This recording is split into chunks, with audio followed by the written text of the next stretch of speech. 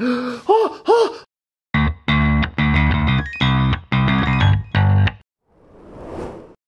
Freunde, willkommen zurück zu einer neuen, wundervollen, spannenden, vielfältigen und äh, extrem unterhaltsamen Folge von Mystery Gadgets. Woher das habe ich mir gerade spontan ausgedacht. Ich habe keine Ahnung, was mich erwartet.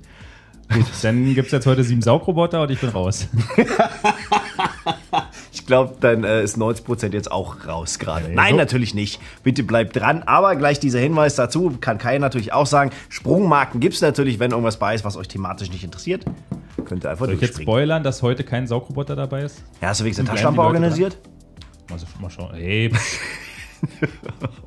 so, nee, also ich habe, lass mich kurz durchzählen. Ich habe wieder sieben Produkte organisiert. Okay. Die schauen wir uns an. Mehr oder weniger, können auch mehr sein.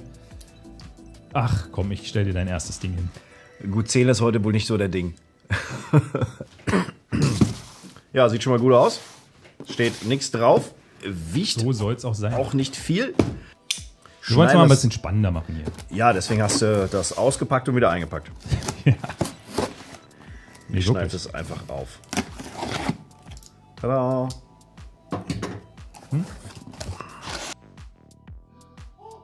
Oh, mein Puls! Killer Instinct! Geil. Ich meine, die Arcade-Automaten-Version sah natürlich deutlich besser aus als das, was äh, Nintendo auf dem Super Nintendo rausgebracht hat. Aber ich habe das Ding original äh, in, in Italien damals gespielt, im, in einer Arcade-Halle. Äh, Also, äh, doch, ja, heißt so, ne? Ja. Jo. Ich habe gerade überlegt, weil bei uns in Deutschland gab's sowas nicht und boah, war ich fasziniert. Und dann kam die Super Nintendo-Variante raus und inklusive Killer Cut Musik-CD. Also wirklich mega. Das Spiel mag ich heute noch. Aber das ist ja gar nicht alles. Hier liegt noch, liegt, liegt noch ein bisschen was anderes bei.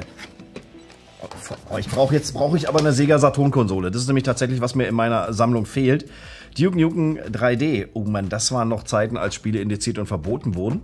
Sogar mit Bonuslevel, die nur für den Sega Saturn sind.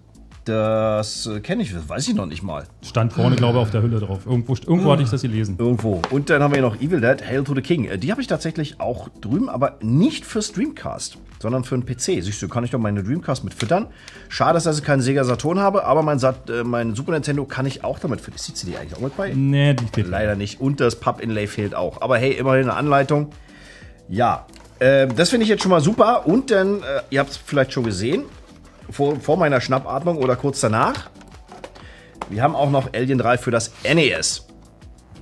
Äh, von, äh, was, Lin oder Jin? Ich weiß nicht mal. LJN.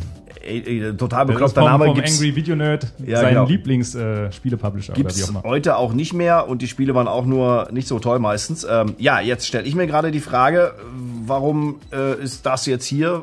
Also nicht, dass ich mich nicht drüber freuen würde, aber Genau. da fehlt mir jetzt irgendwas. Das Rätsels Lösung ist, und zwar ist der Marktplatz für Videospiele retroplays.com an uns rangetreten Okay. und hat gesagt, äh, wir sind cool, testet doch mal und haben wir natürlich gemacht. Ich habe dann ein bisschen mit denen geschnackt, mit den Jungs und Mädels Ja, und finde das echt geil. Vor allem, das sind selber so Retro-Nerds und Retro-Gamer und die haben praktisch einen Online-Marktplatz geschaffen, wo man einfach Retro-Spiele handeln kann. Deutlich günstiger wohl als eBay und äh, man kann auch seine Spielesammlung, wenn man möchte, da verwalten.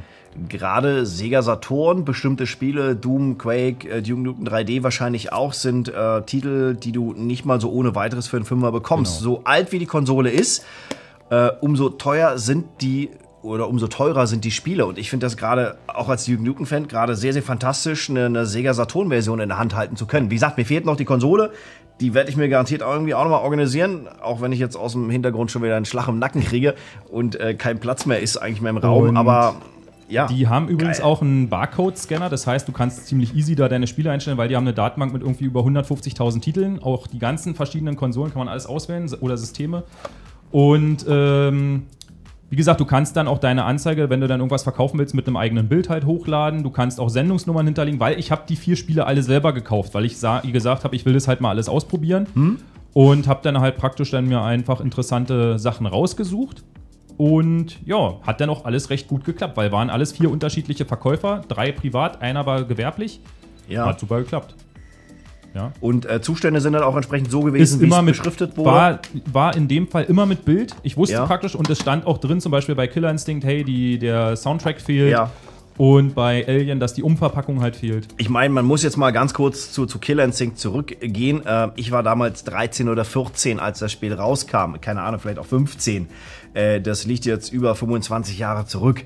Ne? Und wenn dann da mal eine Musik-CD fehlt oder das Pub-Inlay, wo normalerweise die Cartridges drin verschwinden, äh, dass das fehlt, ja, das Ding hatte wahrscheinlich auch schon fünf Besitzer oder so in der Zeit. Also das muss man dabei immer noch mit beachten, ja. Und die, CDs zum Beispiel sehen auch wirklich gut aus. Also und, und das um das Ganze mal jetzt hier ein bisschen aufzuwerten, habe ich mir gedacht, ein Spiel davon zocken wir heute mal. Und habt ihr deswegen nämlich auch schon ein Notebook? Wir machen es jetzt mal ganz, ganz äh, nicht so retro-game-freundlich. Wir emulieren das Ganze mal, weil sonst können wir es nicht so gut abcapturen. ich habe mich für Killer Instinct entschieden, weil ich die Story nämlich von dir kannte. Und ich würde sagen, wir schmeißen das mal an und am Ende kannst du noch schätzen, was ich für die Games bezahlt habe. Uh, okay. Da kannst du dir dann einen abstammeln. Anekdote meinerseits, ich habe gerade Killer Instinct 1 und 2, die Arcade-Version bei mir von meinem Retro-PC auch installiert. Passt doch. Wie man sich an sowas erfreuen kann. Ich glaube, einige werden jetzt verwundert zugucken und denken sich so, Pixelbrei. Da, oh, Gänsehaut. Geil, direkt mal Start drücken. Das auf dem Super Nintendo. Das auf dem Super Nintendo. Ja gut, Sprachausgabe war jetzt nicht das Problem. Wir machen jetzt mal. Ui. Ja, ich darf das. Easy Game. Ja, aber. So, ähm. Also du hattest es damals nur in der Arcadehalle gezockt. Und Wie auf dem Super Nintendo auch. Also auch privat selber oder bei Kumpels? Ja, genau. Damals noch beim Kumpel am Super Nintendo in der Bude in Berlin. Da haben wir das losgezockt. Da haben wir dann wirklich die super ultra duper Kombos rausgefunden und gemacht. Äh, Internet gab es damals ja noch nicht. Äh, es war so ein Ding für sich, ja. Ach, ich liebe das Spiel immer noch. Es ist schweineschwer und kann grafisch, wie gesagt, mit dem Original nicht herhalten, aber. Also sah auf dem Automaten noch besser aus. Ja, vor allen Dingen, wenn du jetzt äh, mit den Charakteren auseinandergegangen bist, ist das Bild auch zurückgegangen. Und äh, ich kann hier gar nichts mehr davon. Also da ist nichts von übergeblieben. Äh, ja, das ist dann nicht mehr ganz jugendfrei. Blut ist auch ausgestellt, ist nämlich äh, lila farmt. Aber Ziel war hier eigentlich wirklich dicke, fette Kombos zu machen. 10, 12, 15, 20 Hit, keine Ahnung. Äh, krieg ich jetzt aber beim besten Willen nicht mehr hin, müsste ich mir erstmal einspielen. Was wir da an Zeit damals rein versenkt haben, unglaublich. Da würde ich sagen, belassen wir es dabei. Ja, du kannst deine Kindheit nachher nachholen. Äh, vielleicht zocke ich auch zusammen mit dir. Jo, also wie gesagt, ich wollte eigentlich die anderen auch noch, aber ich denke mal, wenn wir jetzt alle antesten würden. Äh aber das sprengt, glaube ich, den Rahmen. Also ich hätte wirklich Bock drauf, aber da müssten wir ein anderes Format ausbauen, genau, äh, quasi genau. Retro-Abende oder so. Ähm, genau, also ja. ich habe praktisch alle vorher gesehen mit Bild, Zustand beschrieben und habe dann sagen können, hm. vor allem das Coole ist, du kannst auch sogar bei Retroplays Preisvorschläge machen, wenn der Verkäufer es akzeptiert. Also das heißt, wie, ich, wie man es von glaube, so kennt. Genau, ich glaube, der kann nämlich, weil die wurden automatisch auch dann akzeptiert, wenn sie nicht zu tief waren, weil ich glaube nämlich, der Verkäufer kann selber einen äh, eine unterste Grenze schon eingeben, was er ah, dann automatisch okay, okay. auch akzeptiert. Cool. Hm? So, und dann würde ich sagen, schätzt doch mal, ähm, was ich für die Games bezahlt habe. Also, ich, ist eigentlich ein bisschen schwierig. Also, für, für Alien 3 kriegst du jetzt nicht so viel, weil die Verpackung fehlt und das Spiel jetzt auch nichts Besonderes ist. Ich glaube, das kann man schon für 5 bis 10 Euro kaufen, je nach Angebot. Evil Dead, Hail to the King, ähnlich. Dreamcast ist auch ein, ein, Spiel, was sehr oft noch zu bekommen ist und jetzt auch keine besondere Verpackung hat und auch nicht diese blaue äh, Dreamcast-Verpackung hat. Ich glaube, auch so 10 bis 20 Euro wird es maximal kosten. Bei Killer Instinct mit dem Zustand wird man wahrscheinlich auch nur so 25 bis maximal 30 bezahlen und tatsächlich bei Duke Nukem bin ich mir überhaupt nicht sicher. Ähm, ich weiß nicht, ähm, je nachdem, wie stark das in Deutschland äh, verfügbar war oder auch gar nicht, damit richtet sich da auch der Preis hin. Also hier kann sein, dass das Ding äh, bei 50 liegt. Ich weiß mhm. es wirklich nicht. Ist schwierig. Also wenn man natürlich mit viel Zeit rangeht und jetzt nicht so wie ich zum Beispiel sage, okay, ich brauche das jetzt innerhalb von einer Woche, damit wir für das Video alles da haben, dann kann man bestimmt günstigere Preise erzielen. Ja. Aber ich glaube, du bist da trotzdem ein bisschen zu günstig rangegangen, weil vor allem Super Nintendo-Spiele mit Originalverpackung, egal in welchem Zustand, ich glaube, da ist der Zug abgefahren, dass man da so seltenere Spiele für 20, 30 Euro abstauben kann. Also pass auf, ich habe bezahlt für Alien 3 in dem Fall 29 Euro mit Versandkosten. Ja. Okay. Kann natürlich sein, dass du das auf dem Flohmarkt oder wenn du wirklich mal lange suchst und so weiter auch natürlich günstiger findest. Ich habe da noch nie gezielt geguckt, muss ich Ich habe bezahlt für Evil Dead für die Dreamcast. Das scheint nämlich auch ein bisschen seltener zu sein. Korrigiert mich da gerne. Äh, habe ich mit Versand fast 45 Euro bezahlt. Für okay. Killer Instinct habe ich in dem Zustand mit Versand 42 Euro bezahlt. Ja, das geht aber noch. Und für Duke Nukem 3D habe ich mit Versand in dem Zustand 45 Euro bezahlt. Und ich hatte gesagt 50 irgendwie so. Genau, ne? das habe ich zum Ja, Beispiel auf Ebay ja. auch teurer gefunden. Das war Ja, da das- bei RetroPlays deutlich günstiger. Deswegen. Also, Na gut, es wollen ja nicht alle so viel Geld für haben. Manche wollen es einfach nur bei guten äh, Freunden in den Händen wissen ähm, oder so.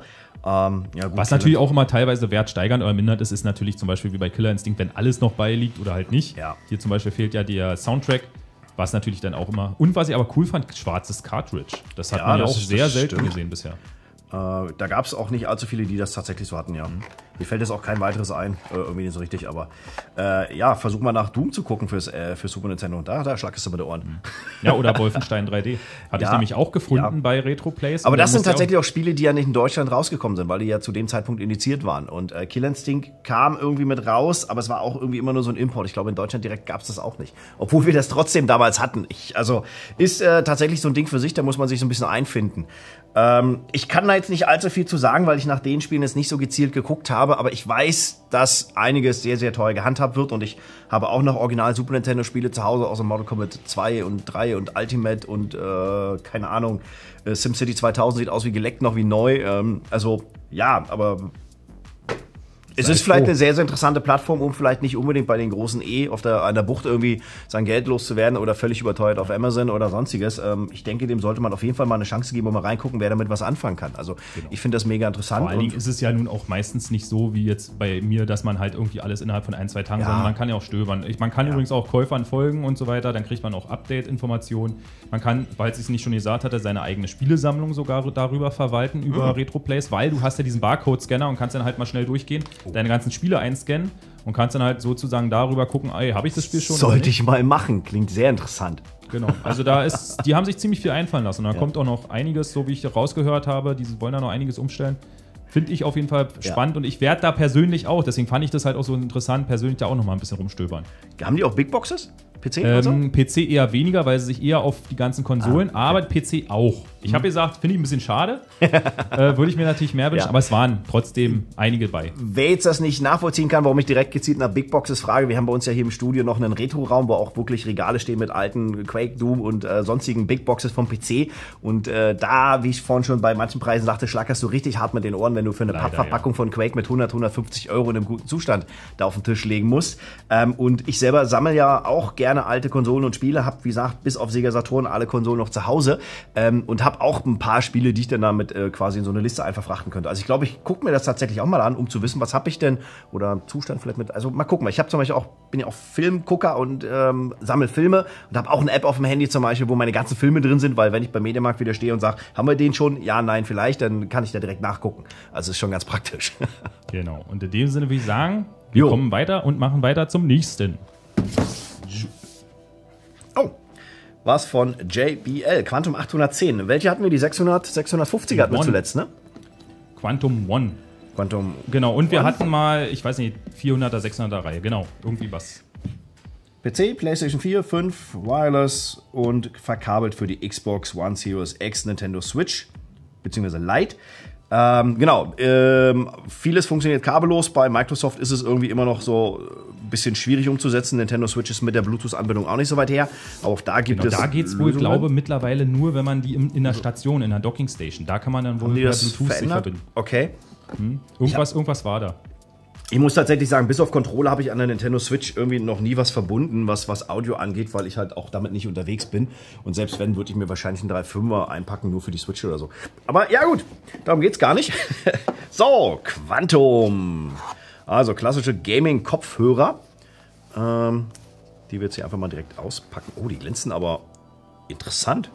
Könnte auch noch der ein oder andere Fingerabdruck dran sein, weil ich sie noch aufgeladen habe. Ja, hier ist auf jeden Fall ein Kleber drauf. Äh, hier ist dann auch ein bisschen Pappe und wieso haben die das? Ich will das jetzt nicht kaputt machen, das No, Mikrofon. Nimm raus. Die haben das Mikrofon, glaube ich, da ge- mitgesichert. Ach so, hier so drunter ist das. Ah, dann packen wir das jetzt rein. So, ähm, hier gucken wir auch ganz kurz rein, weil die Kabellage ist vielleicht auch nochmal interessant. Anleitung, Kabel hier, USB-Dongle und nochmal ein Kabel. Und ich glaube, das war's dann. Anleitung noch, das ist aber wahrscheinlich nicht so interessant. So, dann haben wir hier, ja, so eine Art ähm, Black Chrome Optik auf der Außenseite. Das ist natürlich schon sehr speziell. Er hat äh, den Nachteil, dass dann, äh, wie Kai schon sagte, Fingerabdrücke sehr gerne äh, drauf gesehen äh, werden können oder wie auch immer. Und du kannst dich drin spiegeln, ja. Und ich kann mich drin spiegeln, ja, das sieht man auch gerade. Äh, dann haben wir natürlich wieder die, die Polsterung, also das, den Gedächtnisschaumstoff. Also man sieht, dass der sich zwar ein bisschen zurückbildet, aber wenn ich hier halt draufhalte, bleibt so. Dann die großen Treiber, ich vermute mal 50 Millimeter. Mhm. Dann haben wir hier oben äh, quasi die Plastikabdeckung. Auch hier das Ganze gepolstert. Ich kann das hier rausziehen. Das ist tatsächlich Kunststoff, kein Metall. Hier ist auch noch Pappe mit dran. Abmachen. abmachen. So. Äh, sieht mit dem, mit dem transparenten Kunststoff natürlich interessant aus. Für die Langlebigkeit müsste man das jetzt vielleicht so ein bisschen in Frage stellen. Aber es ist relativ dick auch. Also hier so einen halben Zentimeter. Das sollte schon halten. Äh, genau. Das also ich Ganze glaube, wenn man da diese dünnen Metallstreifen sonst immer sehen, ich glaube, die sind weder langlebiger noch ja, qualitativ Ja, denke ich, denke ich auch. Aber das, das wird, ist halt immer eine Frage, auch wie man mit den Kopfhörern umgeht. Das muss man auch ganz klar dazu sagen. Dann äh, ist das Ganze natürlich auch drehbar, dass man das äh, quasi flachlegen kann oder verpacken. flachlegen, was lachst du denn da so? Oh Mann, ey. 5 Euro in die schlechte Wortspielkasse. Och, sei mal nicht so. Ich habe mir extra Mühe gegeben, ja. Äh, Mikrofon ist quasi, man hört klicken, das heißt mit Stummschaltung nach oben. Genau. Ansonsten USB Typ C, 3,5er Klinke an, aus, Bluetooth. Hier haben wir dann noch verschiedene Lautstärke. Achso, äh, der Chat-Trennung zwischen, zwischen Gespielten und, und, und, der Stimme kann man einschalten und dann gibt es, weiß ich nicht, was das für ein Knopf ist. Tja, da kann ich dich gleich mal aufklären und zwar, wir haben Active Noise Cancelling. Uh, ne, jetzt es ja heiß. Okay, und heißt, natürlich für mehr FPS RGB-Beleuchtung. Ja, dass die leuchten, das war mir schon klar, aber da man das noch nicht sieht, habe ich es noch nicht angesprochen. Genau, und so. äh, du hast ja schon festgestellt, wir haben kabellos, äh, wir haben mehrere Möglichkeiten, das Headset anzuschließen. Du hast da den Dongle, du genau. kannst es aber auch per Bluetooth verbinden, du kannst es per USB aufladen, den Akku, oder ja. halt per 3.5er den, das Headset auch noch verkabeln. Okay. Ich habe jetzt äh, einfach mal gedacht, ich mache das mal an per Bluetooth. Uh, flackern tut's direkt. Ich glaube, ich bin auch direkt schon verbunden. Genau. Ähm, leuchtet auf jeden Fall sehr cool auf und äh, mit, dem, mit dem Chrom, das kommt schon sehr, sehr cool. So, ich franz mir das jetzt mal auf den Kopf.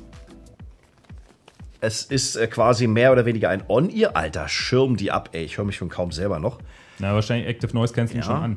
Muss man, ja, ihr leuchtet jetzt auf. auf. Jetzt drücken wir da mal drauf. ANC off. Okay, jetzt höre ich mich dann zwar immer noch wieder an der Taucherglocke, aber schon ein bisschen deutlich besser gibt auch eine englische Sprachausgabe und wenn ich das dann aktiviere, dann ist das wirklich boah, wie in so einer Towerglocke komplett für sich reduziert. So, genau. das wäre das.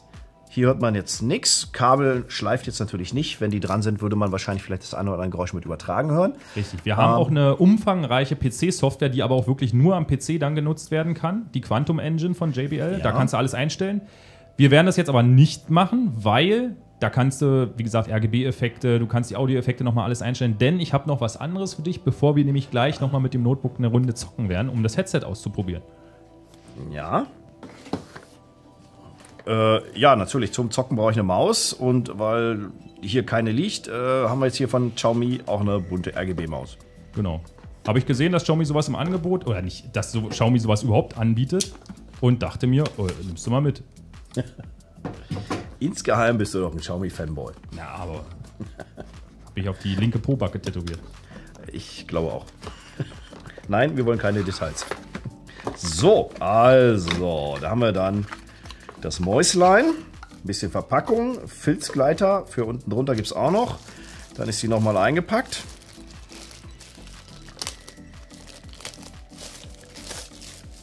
Und nochmal beklebt. Und äh, die chinesische Herkunft kann man gar nicht verleugnen. So gar nicht. 6200 dpi, 800 dpi. Okay. Habe ich übrigens auch wirklich importiert über AliExpress. Okay. Ähm, ja, stoffummantelt. Kennt man. Ja, aber die fühlt sich zu leicht rau an, ist aber sehr leicht. DPI einstellen da unten, Funktion da. Okay, so hat man das gelöst. Damit wird übrigens auch tatsächlich geworben, dass die so leicht sein soll. Das ist natürlich jetzt immer so eine ja Streitfrage. Fans ne? von, die es besonders leicht bei der Computermaus mögen und ja. manche halt nicht. Blub, da leuchtet's. Ach hier, siehst du, das sieht natürlich auch cool aus. Direkt nur an der Hinterkante ist es leicht beleuchtet. Man kann äh, wohl auch noch irgendwie die RGB-Effekte, weil es drei verschiedene gibt, irgendwie einstellen. Funktion, irgendwie. Achso, ich glaube, ich gehe da jetzt gerade schon durch, oder? Nö, das rollt jetzt gerade.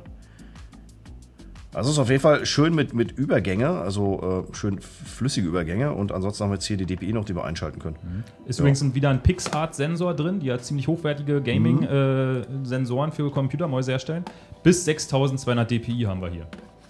Äh, also jetzt hier am PC fühlt sich das erstmal schon gut an, gleitet auch gut über den Tisch, ist wie gesagt jetzt gar nicht dafür ausgelegt, aber... Sind übrigens auch fette Teflon-Gleiter unten drunter. Ja, die sieht man ja.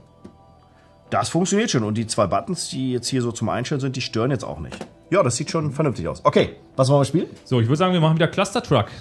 Oh, Klassiker. Yeah. Okay, dann kannst du mal den Ton dir anhören mit dem Headset und wir werden da die Maus ausprobieren. Es wummert und es blubbert.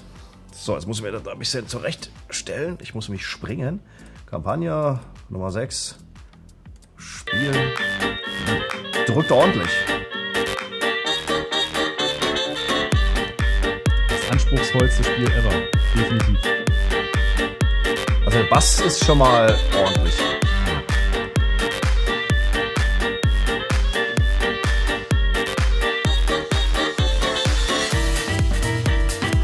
Haha. das war ein guter Sprung ins Ziel.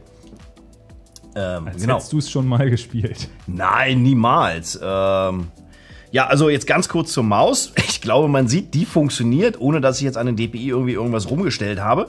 Die flutscht hier über den Tisch und macht genau das, was ich davon erwarte. Ist jetzt, ist jetzt kein Review, sondern erstmal Nein. so ein ganz, ganz Aber äh, die funktioniert. Also ich glaube auch, dass jetzt, naja, wohl Xiaomi jetzt vielleicht nicht, obwohl steht Light drauf, jetzt vielleicht nicht ganz so teuer ist, aber sie funktioniert erstmal, das hat man gesehen.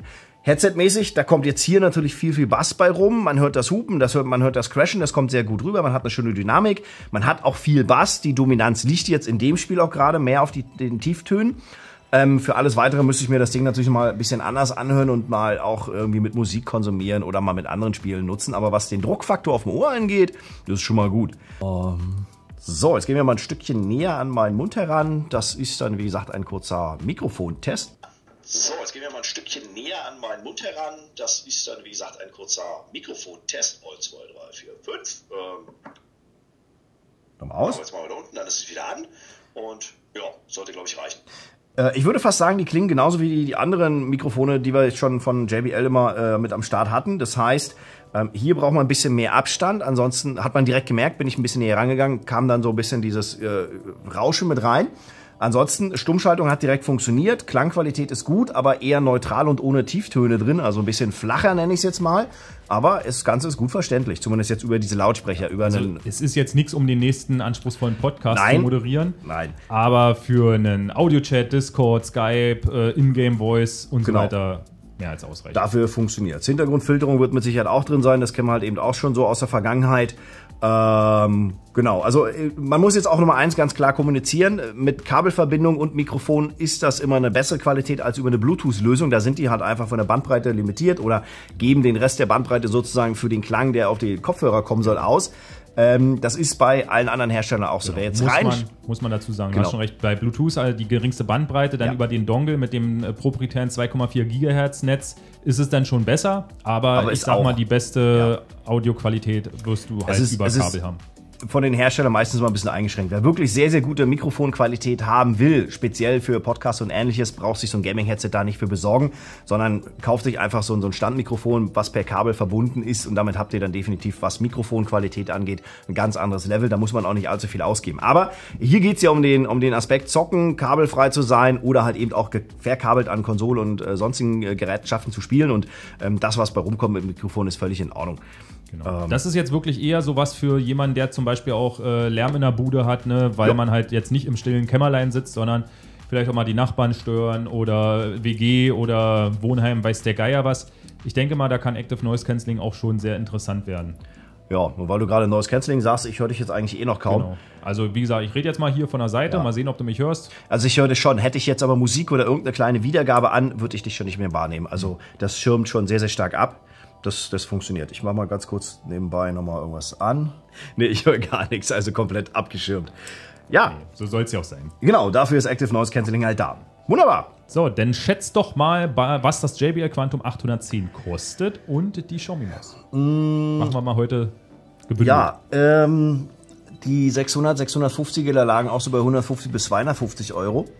Ähm, das ist jetzt Gaming, etwas anderes Design plus Active Noise Cancelling. Ich glaube, da sind wir auch bei, bei an die 300 Euro. Ich könnte mich jetzt aber völlig vertun damit. Also du hast da, glaube ich, ein bisschen was durcheinander gebracht. Äh, die JBL Quantum One, die wir mal hatten, das war ja praktisch das äh, High-End-Modell, was Ja, rauskam die aus dieser wir ja Reihe. noch, ja. Das war, glaube ich, UVP bei oh, 250, 299 oder sowas. Okay. Und die, die wir zuletzt hatten, die 400er, 600er Reihe, die lag, glaube ich, bei ein bisschen über 100 Euro. Das hier liegt UVP bei 199, Okay. ist mittlerweile schon ein bisschen gesunken, ist aber auch noch nicht so lange auf dem Markt bei 180 knapp. Ja, das ist nicht wenig, aber ähm, es wird ja auch schon eine Menge geboten. Klar, Gaming äh, wird extra bezahlt, das ist normal. Ähm, den Markennamen zahlt man hier natürlich auch mit. Aber ähm, ich denke, das passt, was man bekommt. Also gerade mit der umfangreichen Software, dass man hier alles noch ein bisschen konfigurieren kann, was Mikrofon angeht, was äh, allgemein die Akustik angeht, plus virtuelles 7.1 und Co. Das wird alles eh mit unterstützt. Ähm, plus die LED-Beleuchtung, die ich mit anpassen kann, äh, plus die Anschlussvielfalt, also über Dongle, Bluetooth, Klinke äh, äh, und, und Typ C, ähm, da ist ja alles mit abgesegnet, plus die Trennung von Gesprächen äh, übers Mikrofon oder was man hört von, von äh, also Game Sound oder Gesprächssound. Das ähm, übernimmt sonst oft mal eine Software oder halt einfach nur so, so ein einfacher Drehregler ähm, am Kabel, aber hier ist halt alles kompakt auf einem gehalten. Das kann schon teilweise echt praktisch sein. Ähm, ja. Vor allem, wenn man dann irgendwie gerade in einem, in, weiß ich nicht, in einer actionlastigen Szene ist und hört aber irgendwie seine, seine äh, Teammates Kumpels nicht da, mehr, Teammates ja. da nicht mehr, kann man da ein bisschen die Hast du denn noch einen Satz zur der Akkulaufzeit? Akkulaufzeit bis zu 30 Stunden und die Ladezeit beträgt dreieinhalb Stunden, wenn er komplett leer ist. Ja, ist auch völlig normal, 30 Stunden. Ja, das, das klingt vernünftig. Je nach Lautstärke natürlich, klar. Ja, schön. Jetzt hätten wir noch die Maus. Du sagst, es war ein Import auf AliExpress. Ähm, ich weiß nicht, könnte 20 Euro sein, könnte aber auch 50 Euro sein. Aber ich tendiere es einfach mal so bei 20 bis 25 Euro. Also der Import bei AliExpress lag bei knapp 21 Euro. Gut geraten. Ja, macht einen guten Eindruck, die Maus. Gefällt mir. Also gerade wegen, wegen dem leichten LED-Streifen hinten dran, den finde ich tatsächlich mega cool. Also man, man sieht es jetzt eigentlich nicht wirklich. Also wenn man die Hand drauf hat, ist es verschwunden. Aber es ist halt so eine leichte indirekte Beleuchtung plus halt ein, irgendwie ein cooles futuristisches Design, was man hier so mit reingesetzt hat. Also ich finde die tatsächlich echt schick. Und auch dieses leicht schraffierte Graue, da haben die das designtechnisch, ist klar nur eine Standardmaus, aber finde ich gut. Gefällt mir. Ja, alles gesagt, oder? Nice. Würde ich sagen, machen wir weiter. Das sieht nach einem Rucksack aus. Ein Rucksack mit Bl Wie kommst du da nur drauf? Rucksack mit Blinkerfunktion. Okay, jetzt machst du mich ein bisschen neugierig. Tatsächlich auch Schade, hier dass das. immer schon alles draufsteht. Ja, hier ist auch das, der Hinweis mit äh, integrierten Akkus. Ähm, ja, das, also bei so einem kleinen Zettel kann man das schon mal fast überlesen. Übrigens hat er 16 Liter Inhalts- oder Fassungsvermögen. Ähm, das Ganze ist ein Stoff, der wahrscheinlich auch so ein bisschen wasserabweisend ist. Wir haben Seitentaschen, können die komplett durchgreifen, sieht so zumindest aus. Ne, die ist zu, aber man hat ein Seitenfach, okay. Trinkflaschen, Halterung, äh, hier oben noch ein kleines Fach für, was weiß ich, Kleingeld. Ach so, ist tatsächlich, man hat nur einen Seiteneingriff, ja? Genau. Ah, okay. Äh, ja, so, das, dann haben wir hier vorne noch irgendwas. Genau, das kannst du mal komplett rausholen. Okay, hier ist noch irgendwas. Also, ah, ein Kabel. Damit kannst du es aufladen. Wir haben ja einen integrierten Akku. Ah, Jetzt kannst du mal okay. gucken, was da noch so drin rumschlummert.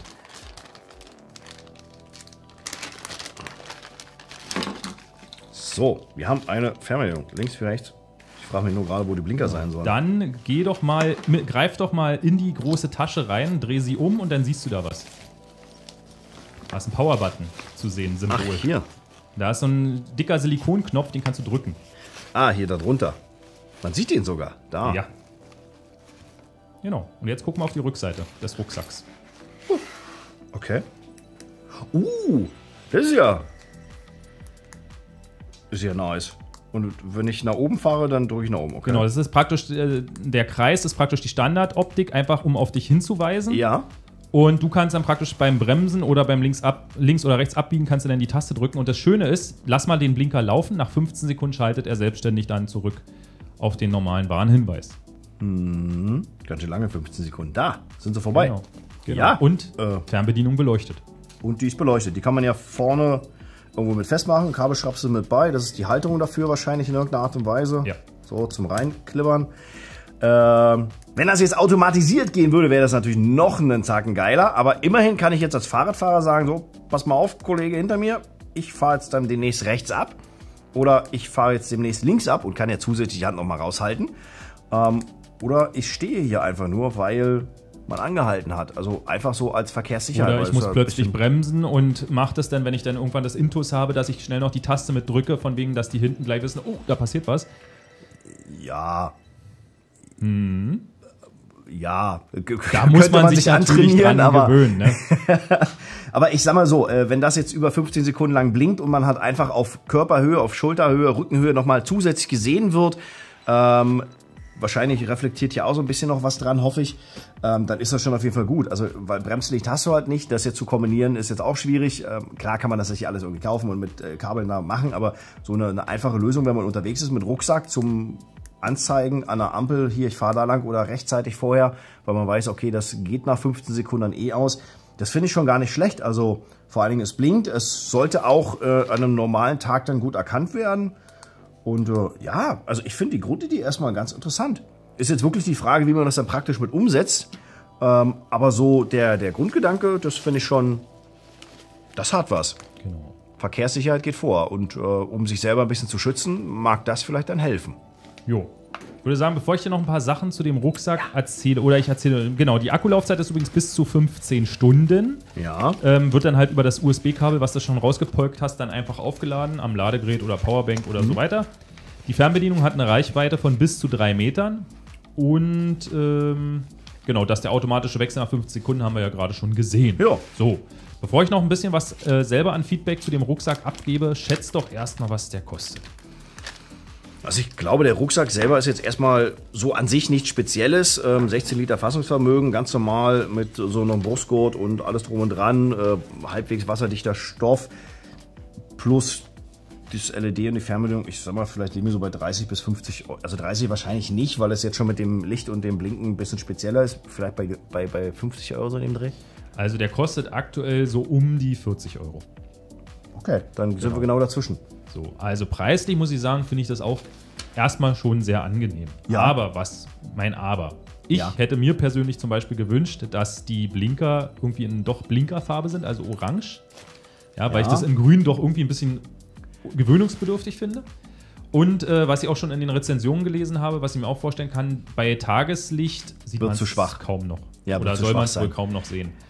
Ähm, genau, was sich manche auch gewünscht hätten, ist, dass der Blinker natürlich nicht nur hinten leuchtet, dass man, sondern dass man es vielleicht in den Seitenriemen irgendwie noch mit integriert Mhm. hätte, dass wenn man links oder rechts blinkt, dass das auch seitliche Ja. Fahrzeuge wahrnehmen könnten. Ich Wäre glaube, natürlich schön. das ist dann aber wieder so ein Problem mit der SCVO, was man darf und was man nicht darf. Richtig, glaube ich Und auch. ähm, ich und denke, auch natürlich eine Preislichweise. Jetzt hast Ja, du ja nur so ein kleines. LED-Modul hinten drin und so müsstest du ja das alles noch verkabeln und in den Seiten und hast du nicht gesehen. Und ich finde den Stoff und äh, die Reißverschlüsse jetzt so eher günstig, ja, das jetzt mal. wirkt jetzt nicht wahnsinnig hochwertig. Deswegen sagte ich auch so, der Rucksack an sich so vielleicht an die 30 Euro. Ähm, das ist jetzt für einen Rucksack eigentlich auch nicht viel. Das ist halt ein einfacher, normaler, dünner Stoff. Der wird Ja. ein bisschen Wasser abweisen, aber es wirkt jetzt nicht wahnsinnig hochwertig. Es erfüllt seinen Zweck.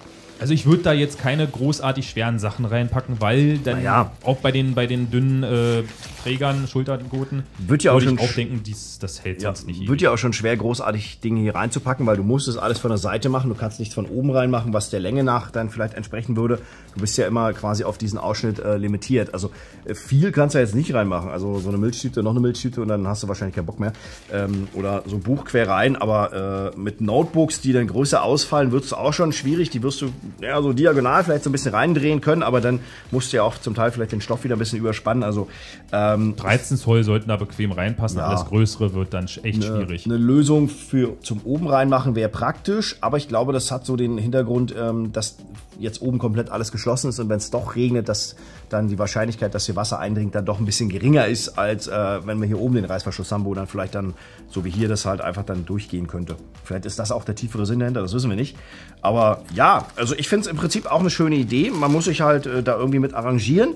Und gerade wer abends fährt oder nachts fährt, ich glaube, der wird das auch sagen und sehen, ja, doch, das ist mir wert. Ich werde dann halt einfach gesehen und wenn es halt einfach nur blinkt, ähm, ohne dass man jetzt hier Stopp oder ähm, irgendwie nach links oder rechts macht, ähm, Ja. klar, man kann auch einfach einen 10 Euro La- äh, Scheinwerfer oder eine Rückleuchte sich an den Es gibt ja auch schon so eine Helm dynamischen oder- Rückleuchten, ja. die dann auch entsprechend beim, beim negativ beschleunigen sozusagen dann auch äh, blinken können und so weiter. Ja. Ach so, was mir noch einfällt, äh, ich hätte eine Lösung zur Befestigung vorne, die jetzt nicht auf Kabelbinder setzt, auch ein bisschen besser gefunden. Ja, Weil so kann man das auch- mal, wenn man zum Beispiel das Fahrrad wechselt, das ein bisschen Ja. schneller. Das ist eine sehr, sehr günstige Lösung, aber da gibt es ja auch so, so Schraubzeugs, alles drum Genau. und dran, also so GoPro Hero mäßig. Äh, also das wäre schon besser gewesen, ja. Ja. Ja, ist so ein bisschen, also die Grundidee ist gut, Umsetzung und Qualität würde ich so ein bisschen noch mit in Frage stellen und ja, aber so grundsätzlich, wer sich sagt, okay, ich brauche einen neuen Rucksack und mir reicht das völlig aus, ich habe nicht viel bei, aber ich will vielleicht äh, ein bisschen besser gesehen werden, für den wäre das vielleicht was und alle anderen sagen sich, okay, dann kann ich mir auch eine 10 Euro Rückleuchte kaufen, hängen, hängen wir die am Rücken oder am Helm und dann blinkt das Ding auch vor sich Ich hin. glaube mal, dafür, dass wir hier bei 40 Euro mit in Deutschland äh, Verfügbarkeit sind, ich denke mal, ist das okay, weil ansonsten, ich glaube, bei allem, was wir jetzt so angesprochen haben, wäre wär man sonst ganz schnell wieder bei 100 Euro plus. Könnte durchaus So, sein, ja. Aber das ist nicht ganz so unser Metier. Wir wollen ja einfach mal ein paar lustige Sachen mit vorstellen oder ein paar Dinge, die sich gut lesen und vielleicht im Endeffekt dann doch nicht so überzeugend. Soll ja auch vorkommen, ne? Ähm, wie gesagt, Grundidee ist gut, Umsetzung soweit auch, aber halt äh, mit, mit, ja, Mängel kann ich jetzt dazu nicht sagen, aber mit so ein paar Punkten, wo man sagt, okay, hätte man besser machen können. Ich glaube sogar, das war auch eine Zuschauerempfehlung, weil Ich den habe ich aber schon vor, glaube über zwei Monaten bestellt. Deswegen weiß ich es nicht mehr ganz genau. Ja, ich, hab- ich gucke mal, wann es so am besten passt. Und dann Ja, natürlich. Würde ich sagen, machen wir weiter. Ich habe noch ein bisschen was. Der RG 503. Du hast ja schon sehnlich drauf gewartet, ich weiß doch. Jein, also tatsächlich ähm, doch irgendwie schon, weil er größer ist als der RG3, äh, äh, Emmernick RG351P oder M, ähm, weil da hatten wir nur so ein äh, 3,5 Zoll Display, jetzt sind wir hier bei 5, irgendwas waren wir, glaube ich. Was ist es denn überhaupt? Ja, das wollte ich gleich erzählen, wenn ich hier erstmal alles ausgepackt habe, was hier noch alles Tolles mit drin liegt, obwohl ein Kabelbinder lassen wir weg. Das Ganze ist ein Emulationshandheld, der mit äh, Micro-SD-Karte gefüttert werden kann, wo man dann Spiele drauf spielen kann. Also, Also alte Spiele. Genau, das, wo wir quasi eingestiegen sind, das kann das Ding auch. Ähm, das heißt, äh, wer Super Nintendo, N64, Dreamcast und Co. oder vielleicht PlayStation 1 unterwegs zocken möchte und das nicht am Handy, der kann das mit so einem Gerät machen. Und äh, wir waren da in der Vergangenheit von Emmernick sehr, sehr begeistert, weil auch die Displays, IP-Displays waren es immer, äh, IPS-Displays waren es immer, ähm, uns überzeugt haben und auch so, was die Verarbeitungsqualität und das gesamte äh, ja, Dasein anging, hat das echt Spaß gemacht für ja teilweise relativ wenig Geld. Bam, Alter, jetzt sind wir aber auch Die gleich Besonderheit bei dem Modell, du wirst du bestimmt gleich erzählen, weil du hast ja, glaube ich, den Artikel dazu Ich hatte den Artikel zugeschrieben, ja. Ähm, die Besonderheit ist, ich weiß es gerade gar nicht. Also er Das hat ist schon das, ein paar Wochen das, ja, das größte Display von den Emmanix, die Genau. wir jetzt gerade haben. Es ist ein OLED-Display. Stimmt. Ja, jetzt wo du sagst, in Bezug auf die Schwarzwerte, ja. Es ist mir jetzt direkt gar nicht so aufgefallen, weil jetzt hier alles relativ dunkel ist. Aber wenn man hier irgendwo reingeht, sieht man das vielleicht ein bisschen besser. Ähm, wir machen mal das Soul Calibur an, dann sehen wir das vielleicht. Aber jetzt hier klar, mit den Schwarzwerten beim Booten, äh, das sieht schon ein bisschen nach was aus. Stimmt, OLED-Display. Ja, ähm, was Controller angeht, Schultertasten, ne, Analogsticks, äh, Digitkreuz, Start, Select, Aktionstasten auf der Unterseite. Hier ist das Betriebssystem drauf, auf der zweiten werden dann die Spiele drauf sein. Funktionstaste, um in die Menüs reinzukommen, um das Spiel zu beenden. Reset-Button, wenn es mal nicht klappen sollte. Stereo-Lautsprecher. Und auf der Oberseite haben wir dann nochmal äh, einen Mini-HDMI-Ausgang, 3,5er Klinke für Kopfhörer und dann haben wir noch OTG bzw. zum Laden, ähm, so dass wir halt auch verkabelte Controller anklemmen könnten zum Beispiel. Das wäre alles möglich. Und es ist wieder die japanische Version. Übrigens, äh, das Display ist ja 5 Zoll groß, ist wie gesagt ein OLED-Display und hat eine Auflösung von 614 x 480. 960 mal 544 Pixel und damit munkeln äh, böse Zungen. Na, Ach ja, das PSP-Display. Genau, nee, aus der PS, PS, Vita. PS Vita, ja. Weil das Stimmt. aus der PS Vita nämlich auch ein OLED ist, die gleiche Größe und die gleiche Auflösung Ja. hat. Deswegen geht man wohl davon aus, dass hier Enmanik wohl äh, an eine hat. Charge Displays von der PS Vita rangekommen ist. Was man dann aber auch direkt sieht, ist, dass dieses Dreamcast-Spiel auf diese Auflösung überhaupt nicht angepasst ist und das jetzt natürlich schon relativ gestreckt aussieht. Äh, mit Sicherheit wird man in den Funktionseinstellungen, ich drücke jetzt hier einfach mal irgendwo, ähm, das mit Sicherheit auch einstellen können, äh, dass man da halt eben das Originalformat hat. Ähm, aber so letztendlich, das sieht von den Farben her schon schön kräftig aus. Das mag jetzt bei euch vielleicht nicht ganz so rüberkommen, weil das Display gefühlt auf der Aufnahme ein bisschen zu dunkel ist. Aber ich kann es echt gut ablesen und ab, äh, ja, anschauen und die Farben sind kräftig. Die, also das sieht vernünftig aus. Ist aber natürlich nur ein 60 Hertz Display. Oh, der startet direkt immer mit 100% Lautstärke hier gleich. Äh, ja, also ähm, es ist ein sehr, sehr einfaches Menü. Das heißt, ich kann hier hoch und runter drücken und gehe dann die einzelnen Plattformen durch. So hier PlayStation 1, PlayStation Portable. Äh, Favoriten kann ich mit anlegen. Final äh, Burn, Neo, Mami, äh, WonderSwan, äh, Capcom System 1, 2, 3, MSX, PC Engine, Super Nintendo Game Boy, N64, all das, was man so kennt. Ähm, das höchste der Gefühle ist dann jetzt eigentlich PSP. Ähm, was 8-Bit, 16-Bit äh, angeht, überhaupt gar kein Problem. Und ich würde sagen, wir gucken mal ganz kurz, ob wir ein PlayStation-Spiel irgendwie haben. Was das Gewicht des Handhelds angeht, ist der tatsächlich relativ leicht. Ich muss jetzt auch sagen, im Vergleich zu den anderen Enmanix fühlt sich das Kunststoff jetzt nicht ganz so wertig an. Ähm, das mag jetzt vielleicht in dem Moment ein bisschen täuschen, weil das Gewicht halt nicht so hoch ist, aber ich denke, das ist nicht ganz so das Niveau, was wir sonst so hatten, aber sieht trotzdem gut verarbeitet aus. Alter, das zimmert aber auch hier. Das, das Spiel hat eine eigene Lautstärke und hat mit der Systemlautstärke gar nichts zu tun, okay? Interessant. Ah, Stotter-Sound.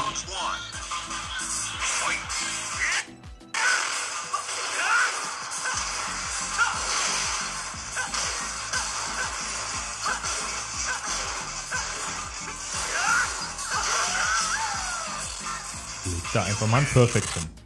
Direkt, ja. Also wie gesagt, der Sound stottert ein bisschen. Es gibt auch so ein paar kleine äh, Slowdowns.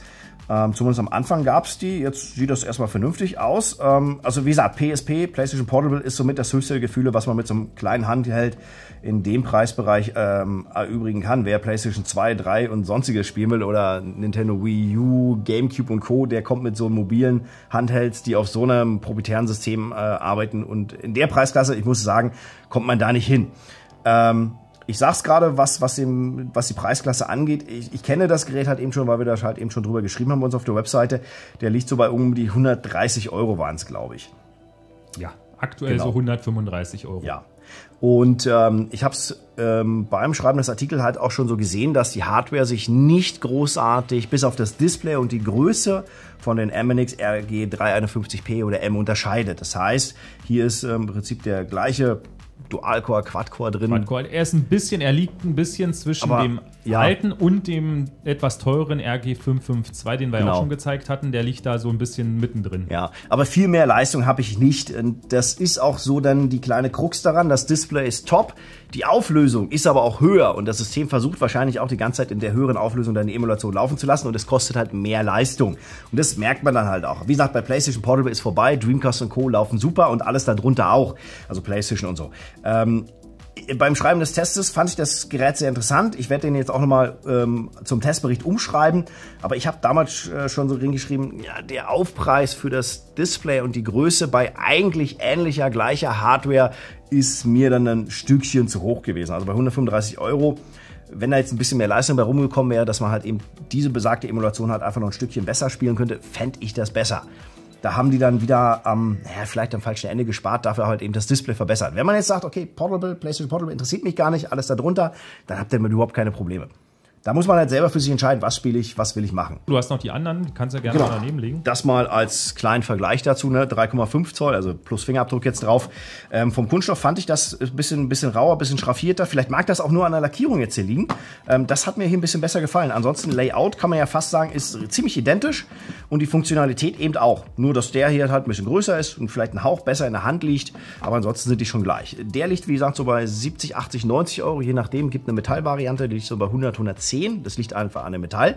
Und wie gesagt, der bei 135 mit gleicher Leistung, aber eine OLED-Display. Genau, das ist mal eine ganz kurze Zusammenfassung, weil die sind sehr, sehr beliebt. Finden wir auch als Empfehlung für Retro-Handhelds äh, immer einen Kauf wert. Und hier müsste sich meiner Meinung nach der Preis vielleicht noch ein bisschen in die 100 Euro Richtung drücken und dann machst du damit eigentlich auch nichts falsch.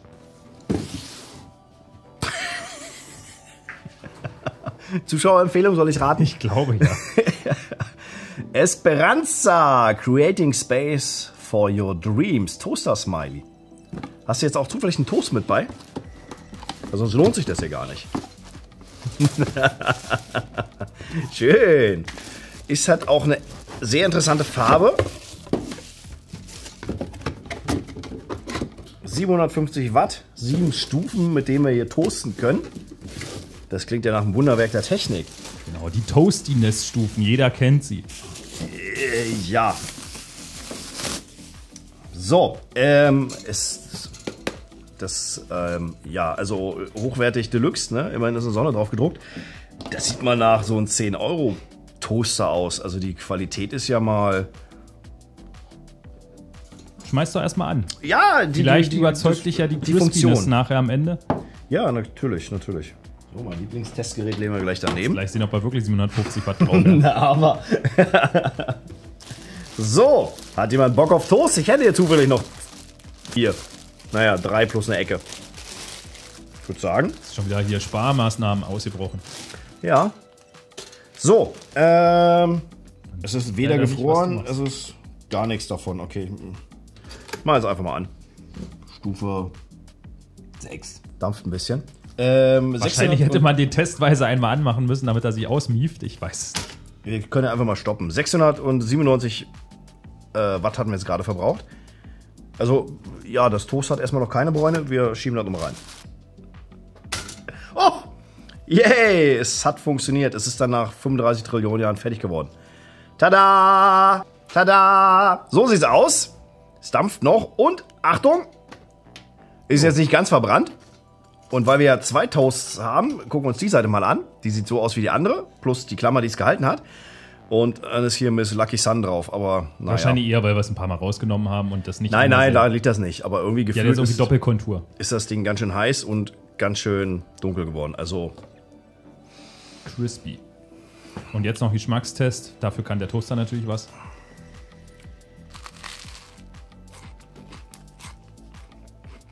schmeckt nach Toast. Also, schätzt doch mal, was so ein Ding kostet. 10 Euro. Also. Das Ding habe ich bei Amazon gekauft für knapp 24 Euro.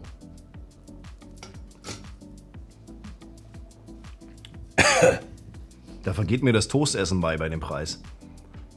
Also, ich finde die Grundidee ja sehr cool, dass man hier quasi so dann so Smileys und, und Son Sonnen drauf äh, toasten kann. Aber äh, wenn ich mir dann halt einfach diesen Plastikhaufen angucke, ist es das einfach nicht wert. Also, das ist einfach nur ein Toaster. Wenn du hier von OK oder so bei Mediamarkt kriegst du die Dinger für 5 oder 10 Euro, so ein Toaster. Und die sehen von der Qualität auch nicht besser aus. Ähm, dass das jetzt natürlich am Anfang erstmal eine Kunststoff riecht, ist so völlig normal. Das muss erstmal auslüften, ausbrennen oder so. Aber der Toast selber braucht für mich jetzt gefühlt zu lange.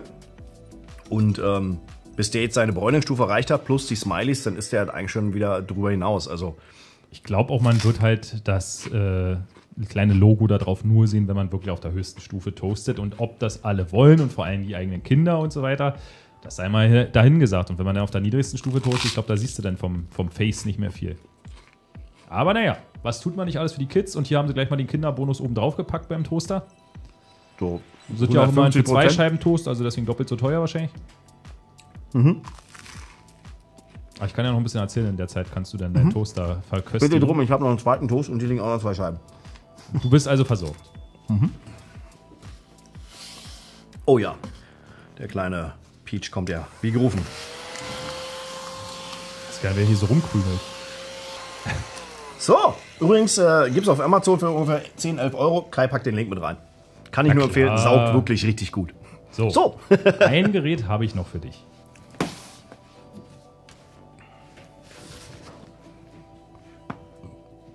Made in China. Nichts damit lesen.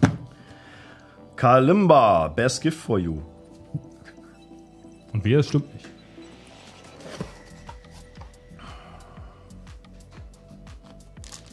Ich sehe erstmal nur einen Hammer.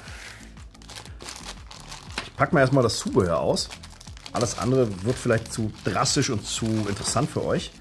Also es gibt auf jeden Fall erstmal Daumenschutz. Oder was auch immer. Oder deine Schwimmflossen, die zu klein geraten sind. Oder Mini-Crocs für die Finger. Dann ist es Thors Mini-Hammer. Okay.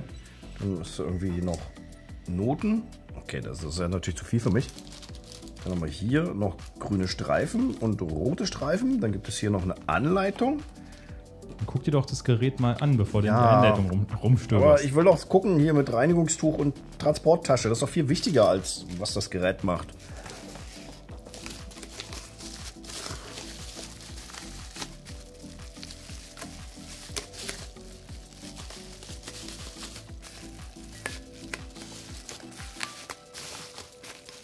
Macht schon Musik beim Auspacken. Wir hätten das so rum reingeschoben, ey. Achso, andersrum reinschieben wäre natürlich auch noch schwieriger, Mach aber. einfach ab das Ding. Ich habe da auch schon rumgekrepelt, weil ich es ausprobiert habe. Ach, das Also war ich das war es, der das da so rum und rein. Aber also egal, wie du es machst, entweder hast du da beim Beim Reinpacken das Problem oder Genau. beim Rausziehen, ja. Ist halt wie so eine Haifischhaut in den Turnschuhen. Kommst halt gut rein, aber nie wieder raus.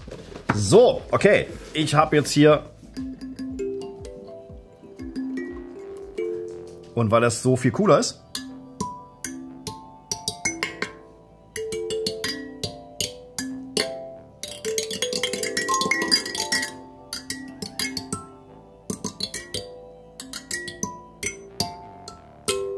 War das überhaupt richtig so, wie ich das mache? Da sind sogar, glaube ich, Anleitungen bei. Du hier zum Beispiel Twinkle, Twinkle, Little Star war da, glaube ich, mit bei. Äh, ja. Hm, hm, hm. Basics. Key, Soundhole, Bobby. Wer ist ein Bobby? Aha, Adjustment Direction for Low Pitch, Adjustment Direction for High Pitch. Mhm. Okay, man macht das doch so. Eine Tuning-Software gibt es da auch noch für. Oh, 10 Keys Kalimba.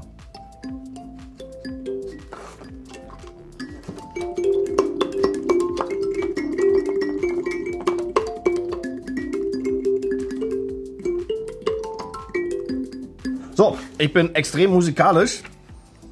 Das ist der Wahnsinn, was ich jetzt. Achso, man soll das eigentlich in den Händen. Achso, ah, warte mal, da muss ich ja so einmal umpimpen. So. Ich kann dir mal sagen, es ist übrigens ein Daumenklavier. Macht das Ganze vielleicht verständlicher. Ja, ja, ich habe das jetzt auch gerade rausgefunden, weil da so eine Illustration mit bei ist. Aber ich fand das mit dem Hammer eigentlich viel interessanter. Klingt jetzt nicht so cool, aber für mich als Handwerker, ehemaliger Handwerker, ist das interessanter, als hier mit dem Daumen auf Metall lang zu schraben. Also mein gut, deswegen hat man ja hier die, die Wohlfühlsocken für den Daumen, aber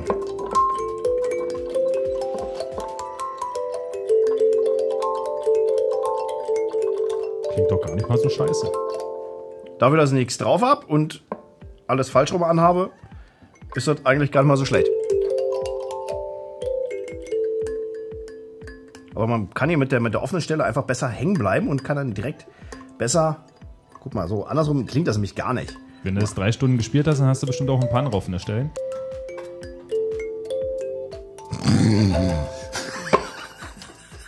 Wahnsinn! Ich bin endlos begeistert. Ja, Ein Daumenklavier. Mehr dazu kann ich dir auch nicht erzählen. das ist Wahnsinn. Außer dass alles beiliegt, deine kleinen Stülpchen da, eine Anleitung. Es gibt Tuning-Software. Du hast MC Hammer noch dabei. Ja, ganz toll. Also ich bin hellauf begeistert. Es ist äh, das Musikinstrument, was ich mir schon immer gewünscht habe und noch nicht, nicht kannte. Jetzt habe ich's und man kann das sogar hier nochmal mit bekleben und mit roten Streifen und so, was weiß ich. Also ich bin völlig raus, bin völlig unmusikalisch. Ich habe überhaupt keine Ahnung, wie sowas funktioniert. Ich kann auch keine Noten lesen, deswegen, ähm, ja. Aber immerhin ist es Holz. Ein Holzkorpus und nicht hier irgendwelcher Kunststoff.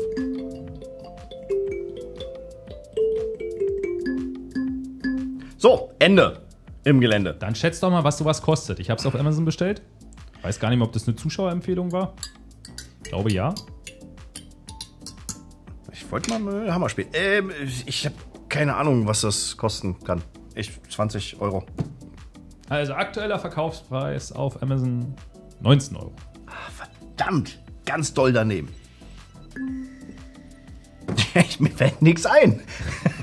Ein schönes Geschenk für Leute, die alles haben. Oder für Leute, die man nie wieder Und nichts will. brauchen, ja. Aber immerhin ist hier ein Putztuch bei, dass man das hier auch wieder direkt sauber machen kann. Ja, vielleicht sind das dann so Freunde, die so begeistert sind und jedes Mal, wenn man sie dann wieder sieht, können sie einem ein neues Spiel, Lied davon trällern. Ja. Oder auch nicht. Es hat was, also, aber mit so einem Stylophon sind wir auch schon ganz gut klargekommen, aber das hier. Es hat ein schönes Stehrumchen. Wahnsinn, ich bin hellauf begeistert. Unglaublich, was es nicht alles gibt. Wunderbar. So, hast du noch was? Nee, das war der Rausschmeißer zum Wochenende. Also spätestens, wo ich jetzt angefangen habe, sind sie eh alle gegangen. Ja, wer ist jetzt überhaupt noch da? Könnt ihr mal ganz Jetzt- kurz wir sind kommentieren? Jetzt unter uns, okay, alles klar. Ja, äh, vielen Dank äh, dafür. Ähm, danke auch an euch, die ähm, immer fleißig Einsendungen mit reinschicken an Kai, dass ich wieder nichts davon weiß. Ähm, ja, es war mega bunt gemischt heute. Äh, mein Highlight waren tatsächlich gleich die Position 1 äh, mit den Retro-Spielen. Hat man vielleicht auch gemerkt. Und ansonsten, äh, mein, mein äh, ebenfalls kleines Highlight ist jetzt mein neues Lieblingsspielzeug. Nice. So, genau. Ich habe nichts mehr zu melden hier. Ich bin durch. Gut, würde ich sagen, wenn Vorschläge bestehen, schaut gerne mal auf YouTube oder auf unserer Internetseite nach meiner E-Mail-Adresse. Schreibt mir gerne mal eure Vorschläge. Vielleicht kommt es ja das ein oder andere ins nächste Video. Und ansonsten würde ich sagen, war wieder eine schöne bunte Mischung. Definitiv. Genau, ja, Feedback einfach rein in die Kommentare, ne? Dafür ist das Ding da. Und dann ansonsten Instagram, Facebook, Twitch, Twitter, TikTok, keine Ahnung. Googelt einfach, wo Nerdsurfen sich rumtreibt und dann findet ihr uns. Macht's gut, der Ronny und der Kai. Tschüss. Bis dann. Tschüss.